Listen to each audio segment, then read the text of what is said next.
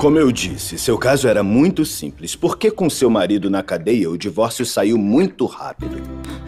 Como é que é, então? O senhor quer dizer que a Karina já pode... Isso mesmo. A senhora já está divorciada. Ai, ai. Obrigada, doutor. Obrigada, muito obrigada, muito obrigada. Não posso acreditar. Não tem nada que me agradecer. Eu apenas fiz o meu trabalho. Então agora sim você vai poder ser minha cunhada. Vem cá. Ai, é. Que maravilha.